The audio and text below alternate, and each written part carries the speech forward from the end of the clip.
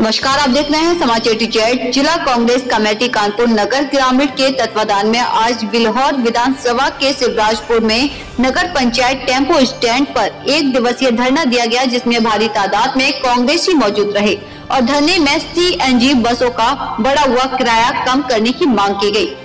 एवं अन्य रोडवेज़ बसों के संदर्भ में धरना दिया गया और कांग्रेसियों ने समस्याओं को लेकर के एक ज्ञापन अपने मुख्य अतिथि माननीय राजा रामपाल जी एवं कार्यक्रम की अध्यक्षता कर रहे पंडित शिवम त्रिपाठी जी को सौंपा, जिसमें मुख्य अतिथि श्री राजा रामपाल जी ने कहा कि मैं क्षेत्र की जनता को विश्वास दिलाता हूँ। हम जल्द ही कानपुर जिला अधिकारी एवं रोडवेज़ के अधिकारियों से मिलकर सभी मांगों को पूरा कराएँगे और उन्होंने कहा कि सरकार अंधी और बहरी हो चुकी है।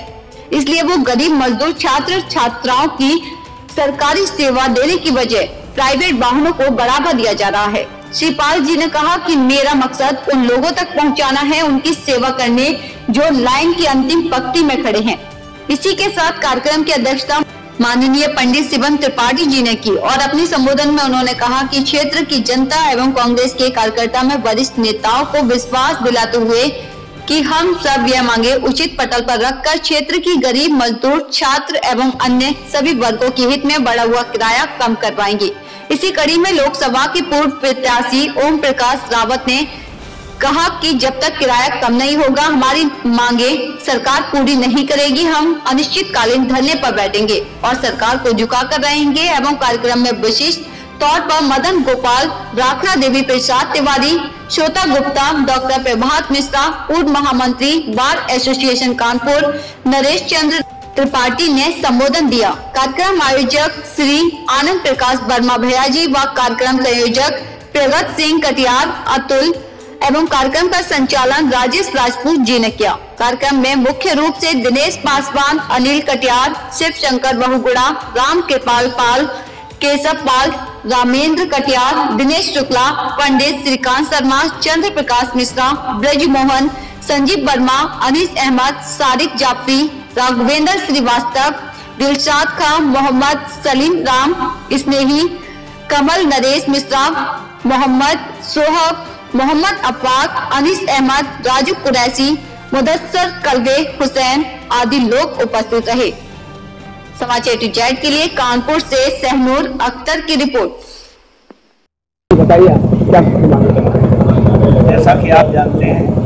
हमारी कानपुर नगर ग्रामीण इकाई ने आज अरुण वर्मा के कानपुर से सी एन डी बसों का किराया कम कराने में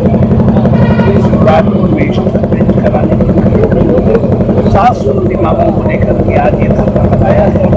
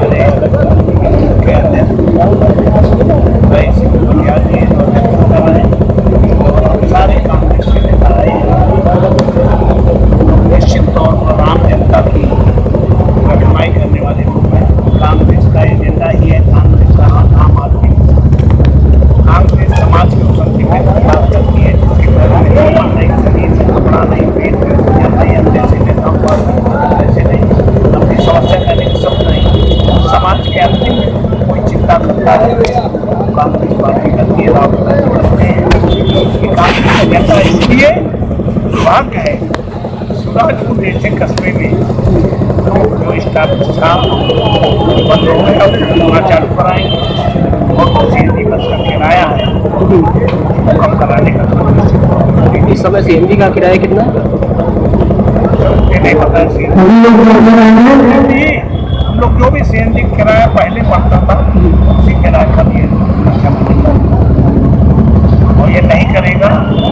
अगर ये जल्दी नहीं किया गया आठ दिन के अंदर तो हम लोग आने का खिलाफ और उनकी आवश्यकता अभी अभी अभी थोड़ी देर पहले ऐसा भी बोला जा रहा था कि ये रोड भी जाम किया जाएगा आठ दिन के बाद। हमने कहा ना आर एम के घेराव करना पड़ेगा जीटी रोड जाम करना पड़ेगा करेंगे। टाइम से खत्म हो जाएगा।